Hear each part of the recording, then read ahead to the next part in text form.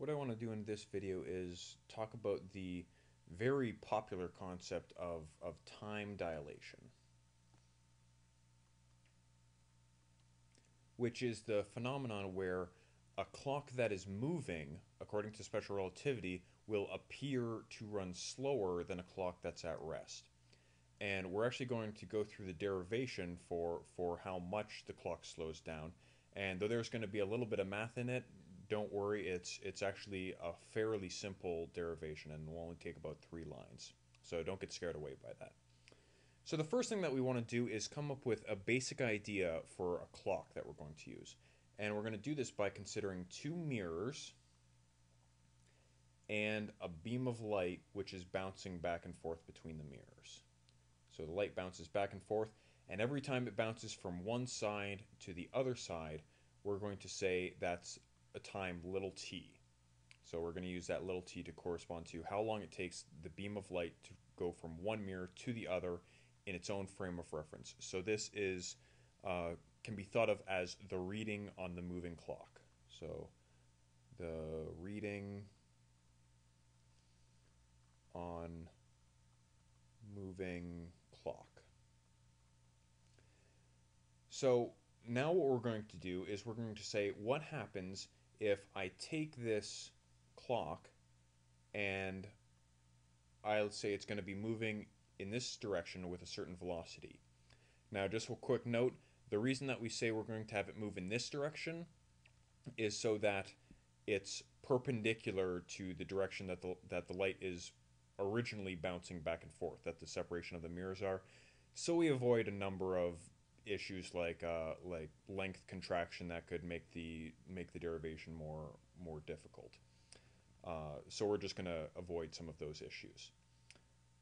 Well, now the mirrors are going to start here, but as time goes on, these mirrors are going to move to the right.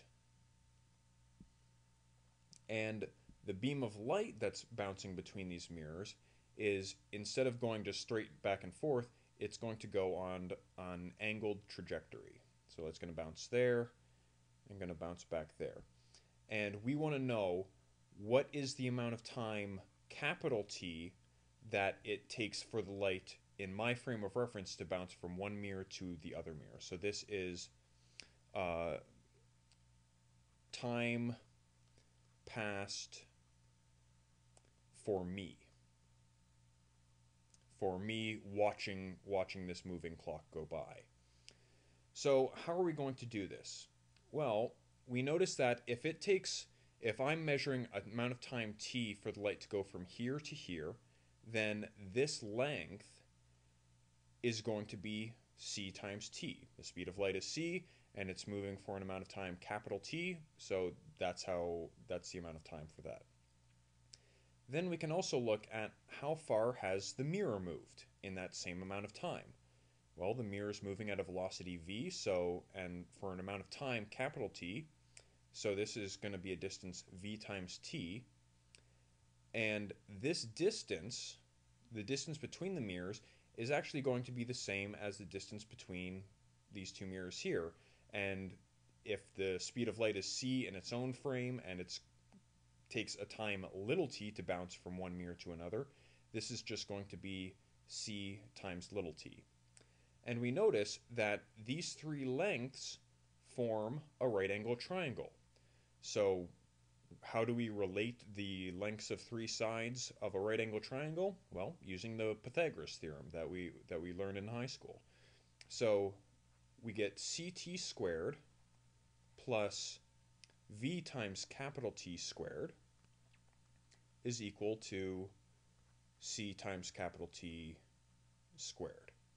This is just Pythagoras theorem, a squared plus b squared equals c squared, the hypotenuse squared.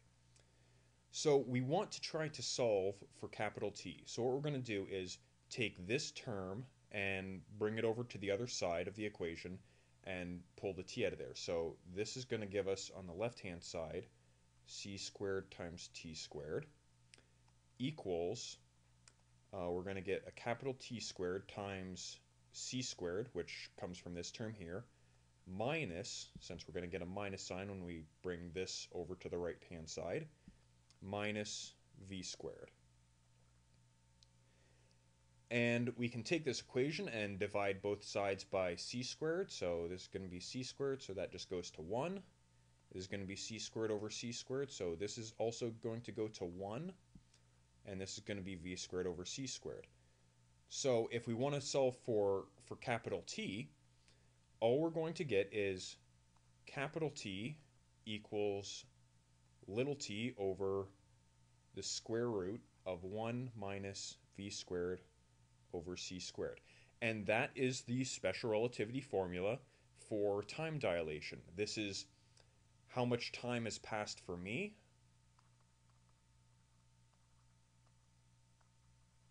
And this is how much time has passed on the moving clock. So time for moving clock. So if I say, how long does it take, how long does it take for one second to appear to me? Well, I just put one in here. If I have a certain velocity for this, I, I can just plug it into there. I know, I know the value of c, and I can get a value for how long it appears one second for one second to take according to my clock. And I've made an Excel sheet that actually uh, that actually has some of these values. So in this column we have v over c, so you can think of this as the percentage of the speed of light that we're going. And this is the time capital T, the time it takes, how much time has elapsed for my clock when the moving clock has a reading of one second. So if I'm going at uh, 10% the speed of light, v over c equals 0.1, so I'm going at 10% the speed of light, then the time that's elapsed for me is 1.005 seconds. So that is not a very big difference, even going at 10% the speed of light. It's only a 0.5% difference. But if we go up to very high velocities, like 0.9% or 90% the speed of light, then when one second elapses on the moving clock, I'm going to have seen that 2.3 seconds has elapsed for me. And as I go up even higher, if I'm going at 99.99% the speed of light, it'll take 70 seconds for me to see the moving clock change by one second. So the moving clock is running much slower than my own clock. And uh, so you can actually just plug these in and, and do that to find out how fast these clocks move relative to each other. Now, there's uh, this has actually been tested. Uh, one way that one way that they've tested this is you can make something called a muon, which is a kind of subatomic particle. It's it's like a heavy version of an electron.